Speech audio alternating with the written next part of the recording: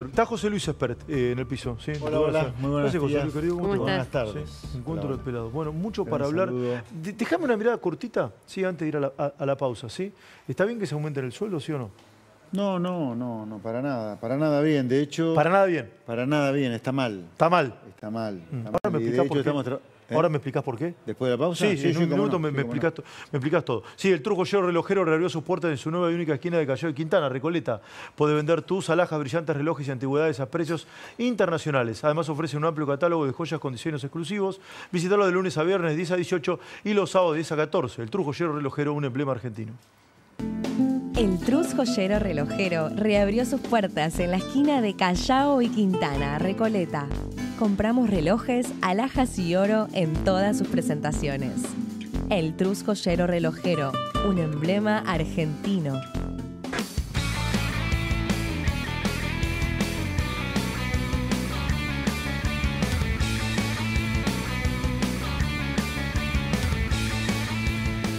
20 minutos para las 6 de la tarde. En un ratito empezamos el pase con, eh, con Eduardo Feynman. Hay muchísima información. Otra tarde, sí, cargadita de temas. Está José Luis Espert me parece, el tema del día, el sueldo de los diputados. Antes que nada, ¿cuánto gana un diputado? Y con el aumento este de 16%, en mano 2 millones 100. Yo lo tengo publicado en Twitter. Sí, eh, eh, es verdad, lo vi. Búsquenlo el, eh, el tuit, 2 millones 100 Do- m- m- Más o menos, creo que es en mano, ¿no? En mano. en mano. En mano, 2 millones 100. En ma- bien. Ahora con el aumento, ¿no? Que es un aumento Sí. que junto con el presidente de la Cámara de Diputados, eh, Martín Menem, junto con... ¿Está de acuerdo con el aumento? bloque- junto con el bloque de La Libertad Avanza, junto con algunos diputados del PRO como Diego Santilli, estamos empujando un proyecto para eh, no tener ese aumento, para rechazar ese aumento, porque no estamos de acuerdo con ese aumento. Ahí está el aumento, lé- léelo, Lula. Ahí está, aumento del 30% para diputados y senadores. En febrero cobraron Lo que decía 2.174.887 más 464.090,29 Eso- por desarraigo. Eso yo no sé a partir de cuántos kilómetros lo cobran, yo no lo cobro al desarrollo. Vos sos por la provincia de Buenos Aires, Claro, vos no lo cobras. no debo cobrar ¿Serán por la más de distancia. 500 kilómetros? Ah, más de 500. Eh, No, no, bueno, desconozco a partir de qué distancia de tu domicilio lo cobras. Bueno, no estoy de acuerdo No con está de acuerdo con el aumento. No estoy de acuerdo con el aumento. Creo que es un momento para estar bien conectado con la gente, cosa que debería ocurrir siempre de parte de un político. El político la única razón que tiene de ser es servirle a la gente. La gente la está pasando muy mal. Estamos en un proceso recesivo con alta inflación. Las dos cosas con el tiempo van a ir desapareciendo, la inflación va a ceder, la recesión va a ceder, porque se están haciendo las cosas para que todo termine bien.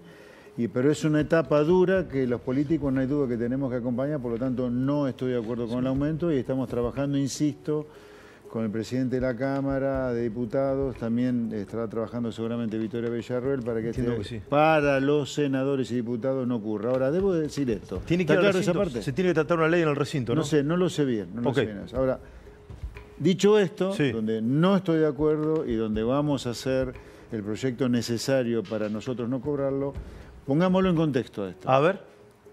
Esto no es una concesión graciosa al estilo rey que Martín Menem o Victoria Villarreal han decidido solo para diputados y senadores. Nosotros somos empleados del Congreso y todos los empleados del Congreso han recibido este 30%. Los empleados del Congreso son cerca de 10.000, de los cuales solo 329 somos diputados más senadores. O sea que te digo esto porque el gasto del Congreso sobre 10.000 personas es de aproximadamente 300 millones de dólares al año.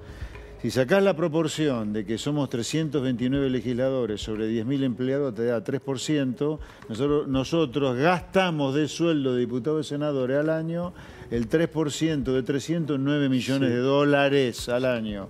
Si estos aumentos se mantuvieran durante todo el año, suponete que lleguemos, llegáramos a duplicar los sueldos, sería un gasto que de 9, si lo vamos a duplicar, a triplicar en realidad, terminaría siendo 27. de 20 millones de dólares más. Pensemos que el ajuste que está haciendo de gasto público Por más suba de impuestos el gobierno de Milei es de 20 mil millones de dólares. Así que si no renunciáramos a este aumento, que sí lo vamos a hacer, estaríamos hablando de un aumento del gasto comparado con el ajuste de 20 dividido 20 mil.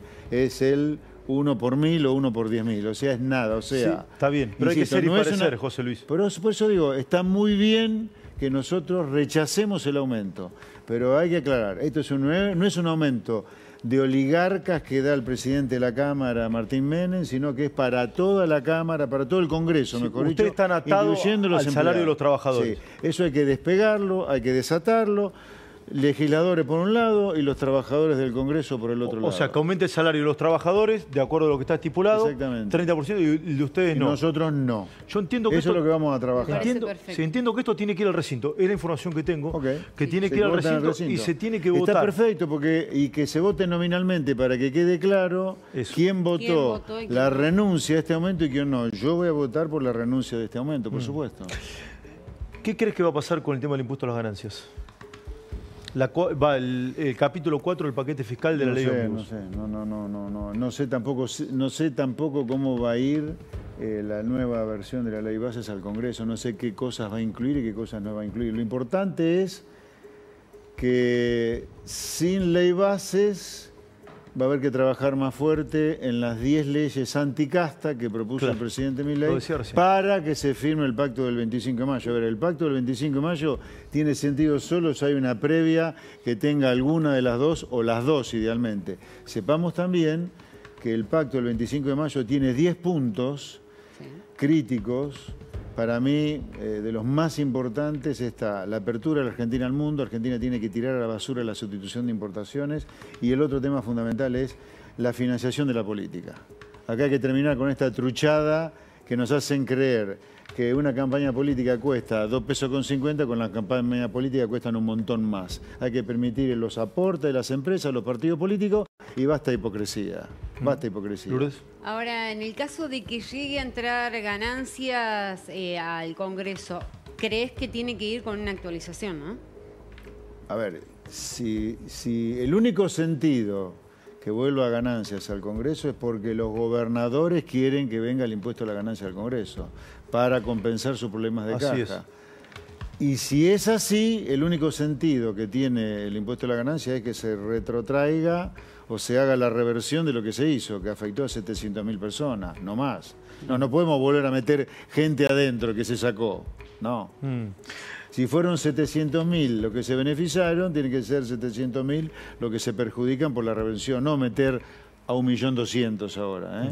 Mañana tiene que, que haber ajuste Sí. de los mínimos no imponibles en las escalas para Sí, que no e- haya más Esto es personas lectura, adentro. nadie sabe qué puede pasar. Si los gobernadores lo rechazan, ¿vos crees que mi ley ni siquiera lo va a mandar?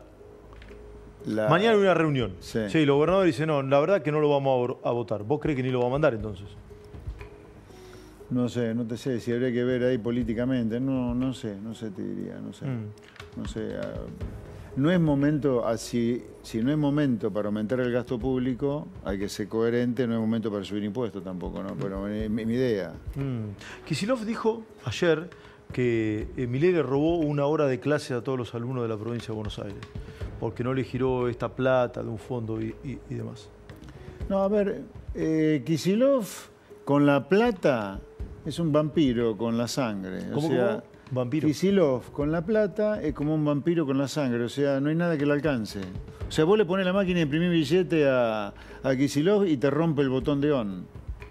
No para, no para de gastar, es un hombre, es un adicto al gasto. Mm. O sea, que él no pueda pagarle a los docentes porque le falta este fondo, que es una truchada que se la dio Alberto Fernández porque la cagó a la Ciudad de Buenos Aires con la coparticipación, por ese motivo no le paga a los docentes, todo falso eso. Está aumentando 500% del impuesto inmobiliario, 300% de la patente. Y más también, y no José le Luis, puede, y no y le puede pagar, también. y no le puede pagar a los docentes, pero por favor, señor Kicillof, ¿usted qué hace con la plata? ¿La come? Mm. Come plata, Kicillof, se alimenta con dinero. Mm. Porque la verdad, no entiendo cómo no tiene plata con todo lo que ha aumentado la recaudación, con la suba de impuestos que está viendo, no lo entiendo. Ahora, ¿qué, qué pensás del escándalo que se desató con Nación Seguros? Y te pregunto si tenés idea si el Congreso también contrataba con... Los No. intermediarios de seguro de la causa Alberto No, Fernández. no tenía el No Congreso. tengo idea. Pero hay que ir hasta las últimas consecuencias con esto. Esto es un... Pero truchadas como esta, Sí. pero mira, te- hay un montón. Te cuento una truchada A ver, más dale, contame. que justifica que justifica que hay que cerrar a todos los fondos fiduciarios, que son los que causaron la caída de la ley base. Sí. El fondo para los incendios forestales, un fondo fiduciario de los incendios Sí. forestales. Año 2023, gasto 500 millones de pesos, un fondo que se alimenta de los seguros. ¿eh? Sí. También. Es un flujo que no terminaba de plata. Es un flujo permanentemente de plata al fondo, se gastó 500 millones de pesos en Telam. Vos decís, pero ¿cómo el fondo para pagar fuego gasta plata en una agencia de publicidad? Vos decís que en vez de comprar man- eh, manguera hubo chorro. Oh, no sé si chorro, No, pero no, ahí digamos, hubo raro. parangonando con el agua. Hubo chorro, hablando de chorro de agua, claro. chorro de otro tipo. Bueno, eso se va a venir una nueva denuncia, imagino. Pero tiene que haber Hoy entró denuncia. una, vos sabés que hoy entró una nueva denuncia, Contalo, esto es un anticipo que damos acá en La Nación y tiene que ver con una denuncia que hace el Ministerio de Capital Humano, estamos hablando de Sandra Sandra, Petovelo. Después de haber realizado esa mega auditoría que hizo, encontró irregularidades por donde quieras. Bueno, en este caso tiene que ver con el plan integral justamente de la primera infancia. Este plan era justamente para que los niñitos que recién nacen tengan todas las necesidades cubiertas de alimento, de, de- de todo lo que hace desde los 45 días hasta los 4 años. Ahí está la denuncia. Ingresó en el juzgado federal número 12. ¿Qué es lo que dice? Justamente que la Secretaría Nacional de Niñez, Adolescencia y Familia, es decir, la CENAF, lo que hizo era entre el, enero del año 2018 hasta el 10 de diciembre del año 2023, daba transferencias y subsidios sin rendición de cuentas. Todo irregular. ¿La plata lo fue para los nenes o no? La plata iba para determinados municipios. En muchos municipios, directamente, eh, cuan- a los, los pocos que Nunca hacían se rendía la de- plata, nunca se rendía Claro, la plata. no entonces se rendía, se pero gastó. se seguía dando, porque decían que excepcionalmente había que seguir dándoles por una cuestión de los niños. ¿Te sorprende la corrupción? No, de parte del kirchnerismo no, porque yo siempre he dicho que para mí el kirchnerismo es una asociación delictiva, es una banda delincuente, ¿no? ¿El kirchnerismo es una banda de delincuentes? Sí, es una asociación ilícita, directamente. Han venido, estuvieron 16 años solo para robar. Y fíjate, la contracara es el hambre del pueblo, ¿no? O sea, el robo kirchnerista, el enriquecimiento ilícito kirchnerista es la contracara de la pobreza de la Argentina. Han destruido al país directamente. Hoy volvió a bajar el dólar. Sí. Eh, ¿Es un buen indicio, una señal de que los precios deben empezar a bajar a futuro o no? ¿Qué es esto? A ver, la inflación de febrero que se va a conocer la semana que viene va a dar como mínimo 10 puntos menos de lo que dio en enero, que fue 25,5. Sí. O sea, la inflación de febrero va a estar en alrededor de 15. Estamos hablando de 10 puntos menos que en enero. ¿Es una inflación enorme todavía? Por supuesto que es una Un inflación escándalo, una enorme. catástrofe. Y sí, 15 elevado a la 12 te debe dar cerca de 300, me Sí. imagino más todavía. O sea, es una inflación enorme a Mm. nivel anualizado. Ahora, eh, en marzo a lo mejor la inflación, con los ajustes de tarifas que hay y con los ajustes estacionales por la escolaridad, el comienzo de, los- de las clases, a lo mejor no baja tanto como bajó en, en febrero, pero va a seguir bajando la inflación. Va a seguir bajando. Sí, sí, la inflación va a seguir bajando y creo que más rápido que, que tarde vamos a tener una inflación de un dígito mensual. Más rápido que tarde vamos a ver de un dígito. Sí, y la recesión... ¿Qué sería? ¿Antes de junio? Sí, yo creo que podemos tener una inflación menor a, un- a dos dígitos, o sea, de un dígito Antes de junio. antes de mitad de año, que yo creo que va a ser el momento donde la economía empiece a experimentar el piso de la caída de actividad y empiece a rebotar ¿Hoy, lentamente. hoy hay una recesión brutal o no?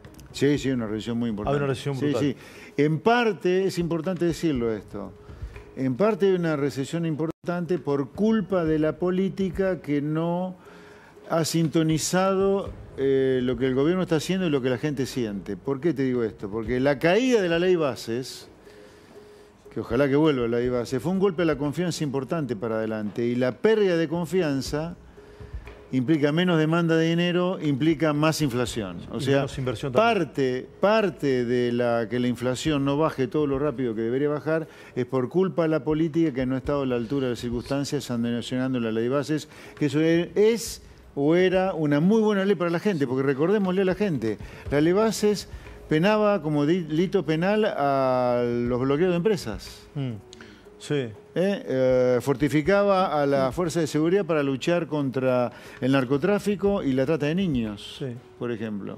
Mm. Por- por- Ponía límite al derecho de huelga en los, a los, sin- a los A los maestros, sí. a los sindicatos de los maestros para que los chicos siempre tuvieran clases. A ver, ¿qué- co- co- Era una ley clave para la gente. Cortito que yo me meto en el pase con, con Eduardo Metete Feynman. en el pase, Sí, el dólar está bajando. Algunos dicen, el dólar está bajo, pero Argentina está caro en dólares.